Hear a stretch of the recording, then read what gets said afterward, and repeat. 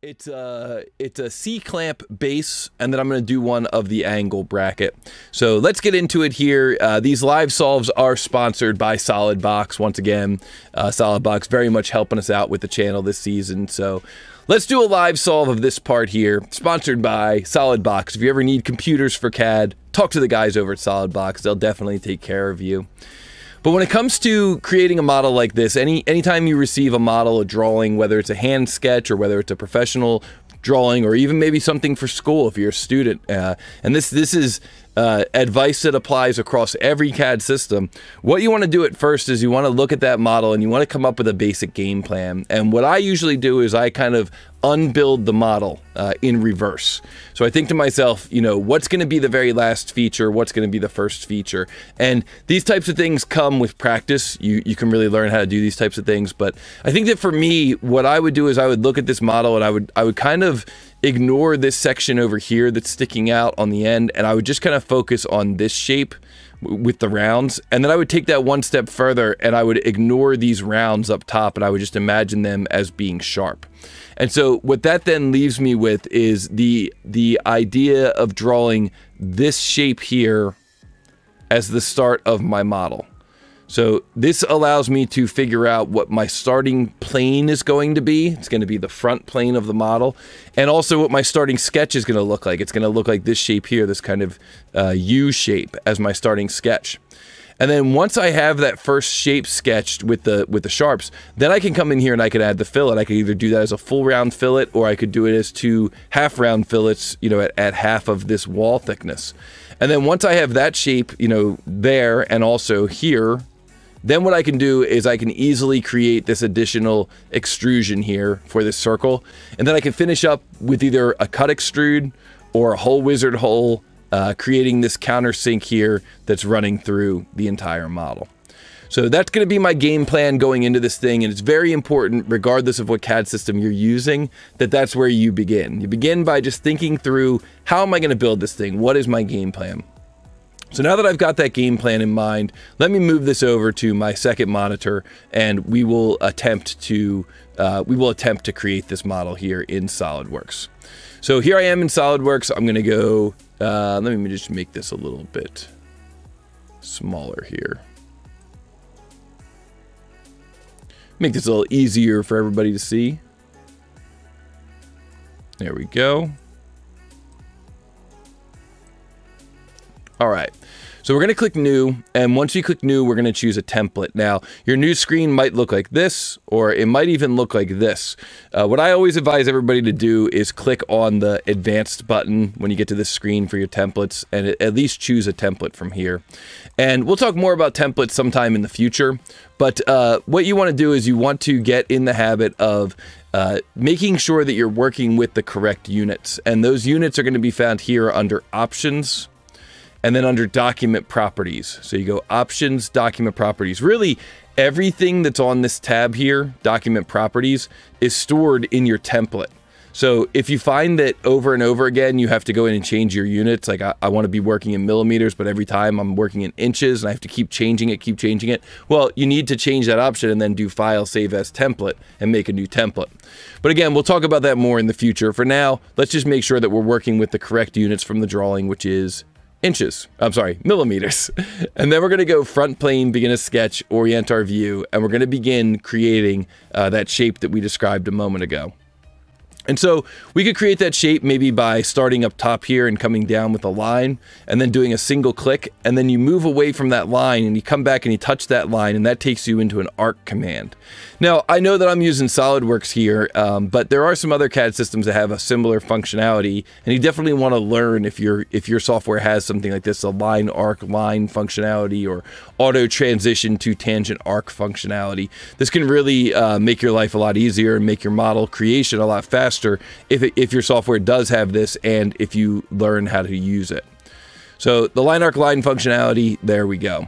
Now you'll notice that I decided to drop the origin here at this lower corner. In the case of this model, it doesn't really matter that much. I mean, the model is going to be centered, but it doesn't really matter exactly where I put the origin. There are a few different options as to um, how how uh, to create that you know that model and where that origin should be. But frankly, in this model here, it's not really that important. So I'm going to go through and I'm going to add in my radii. Now, having your radii in the original sketch versus uh, having them in uh, the uh, uh created later as features is another kind of a debate that people will get into in the world of CAD. In this case, I'm just doing things very uh, uh, fundamentally, kind of getting you to follow fundamentals. But you may come to a point where you decide like there's this is way too many sketch relationships. This tangent, tangent, tangent, tangent, tangent, tangent. I don't want all these extra sketch relationships, and so I'm just going to make my first sketch sharp, and then I'll add those fillets at the feature level. And that certainly is a valid strategy. Now, at this point, we're going to run into a little bit of an issue because we don't have a dimension for the height of this stuff here. We don't have a dimension that gives us a height. The only thing we really have is this 31 that's coming up to uh, this location here. So maybe we want to do a little bit of math. Like uh, this thing is 16 wide and it's a full round going across the top here. So we can figure that it's 31 plus 8 to give us that radius. And sometimes what I'll do in this situation is I'll actually sketch a center line. So I'll create a center line like this, and then I'll create my uh, 31 down here, and then I'll create my dimension from the center line to that top line, and then put that in at 8. So that's certainly an option as well, um, and an option that I've used a lot, uh, just to kind of make things a little bit more consistent with the drawing that I get from the customer. Now I'm going to type in my final dimensions here. Some of these dimensions I'm just kind of going through and, and not necessarily explaining. I think they're they're pretty straightforward, but if, if they're not, let me know in the chat or, um, of course, you could let me know in the comments if you're watching the recording of this. So what we're hoping for is that our sketch becomes fully defined, meaning everything is black. And, and if it's ever not fully defined, the best trick that I can tell you about is just grab one of the endpoints, grab one of the, the blue endpoints or the endpoint of the blue entity, and just drag it around a little bit, and then kind of use your, your engineering intuition or geometric intuition, and you can say, hey, you know, it looks like maybe that, uh, that line and arc are not tangent to one another, and you can add in that relationship. So now we're going to go to the extrude command. Now for me, I'm going to use what's called the S key on my keyboard. It's one of my favorite uh, features in SolidWorks. Um, uh, but, you know, we could also exit the sketch and then go up to features, our features toolbar up here. So after I exited the sketch, I was able to go to my features toolbar and I was able to choose extrude. And now here I'm going to say I want to extrude that out to a depth of 16. And a lot of times what I do is I right mouse button in the background and I change the end condition to mid plane. I think that's a really handy shortcut because as soon as I do that, I can then again, uh, or then once again, right mouse button. And when I right mouse button, you can see that that finishes out that command. So that's kind of nice. It saves you some mouse travel. Now I'm going to press the S key again, and this is pretty much what the S key looks like when you're in feature mode. It looks a little different when you're in sketch mode, but the, the main thing you want to recognize is that the fillet command is right there on the S key menu. So I just press S on my keyboard, and I jump right into the fillet command. And I can say I want this to be a radius of 8, and I can say I want to pick this edge and this edge, and this edge and this edge. And wow, that's setting me up pretty nicely. I'm getting, you know, pretty close to the end of this thing. Now the next feature I'm going to create is just going to be a circle, but I'm going to sketch it here. Sketch the circle here and then extrude it out. And the reason I'm to I'm to plan that out ahead of time is because the drawing is giving me this dimension, the 23 dimension. You know, you might instinctively sketch the thing here, but then you have to do like 23 minus 14, and maybe I can't do that math in my head. And so instead, I'm just to draw the circle over here on this end, and that way I can extrude it right out to the dimension that's on the drawing. That's another good tip, especially if you're just getting started in the world of CAD. Uh, think about where you're creating your original sketches. Now, a lot of CAD programs will have tools that will automatically wake up the center point. That's what I'm doing here. And maybe even automatically hook to uh, an existing endpoint or an existing edge. And that's what I'm doing over here. And so now I can jump into the extrude command, um, and I did that by pressing the S key.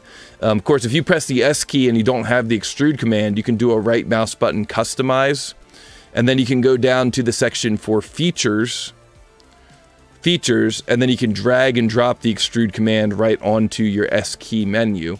So that way, when you're in sketch mode and you press S, you know, you don't have to exit the sketch. You can just jump right into the extrude command. And that's going to go out to a depth of 32, nope, 23. and then I'm going to right mouse button in the background and say reverse direction. See, a lot of these commands that are over here, uh, like the the end condition of midplane or the reverse direction. You know, a lot of those commands are also right here in your right click menu. And I think a lot of times it's it's a shortcut just to get it right from there. So reverse direction and then I will right click one more time. And then finally, I will uh, finish up here with a hole wizard hole. Uh, these these dimensions here that are called out in the hole call out 5.5 millimeter through all hole. So this hole here is 5.5, 11.2 with a 90 degree angle on the C bore. So that's this hole here, 11.2. Um, and a lot of times the the hole callouts, which are you know standardized per the machinist handbook, uh, they will also be standardized in your CAD software, even if it's not what I'm using here, SolidWorks. Even if you're using a different CAD software, um, a lot of times you'll find that the the uh, the hole tool, the magical hole tool that you have in your software, will um, you know will have similar uh, order of or call out information. Like this one here you can see it's got the through hole it's got the uh, the countersink diameter and then it's got the angle of the countersink. So just like what we have on our print 5.5 I'll just press tab 11.2 I'll press tab. And now all I have to do is go to position and I can drop that thing right on the center and right mouse button and boom I'm done with that as well and so to finish this off, what I'm going to do is I'm going to do a uh, right mouse button over here on my material, and I'm going to get into my material library. Um, and if I find that at my company I'm using the same materials over and over and over again, I'll make sure that I add those materials to my favorite materials uh, because that way I can just do a right mouse button over here and pick it right from this list of favorites. So in this case, this print is calling out 1060 aluminum alloy. So there we go. I've added that 1060 aluminum alloy. And then I'll finish up by going into my evaluation tool to uh, find out what the total mass of this thing. So 91.99, I'm going to round that up to 92 grams. That's going to be my final answer. And we come over here to the uh, 2D print here. And let's see if we got it correct. The live solve answer is... Yes! We did it. So um, if you enjoyed that, you know, be sure to let me know in the comments below uh, and be sure to like. And uh, we will definitely be doing some more of these live solves or of these solves of these practice models.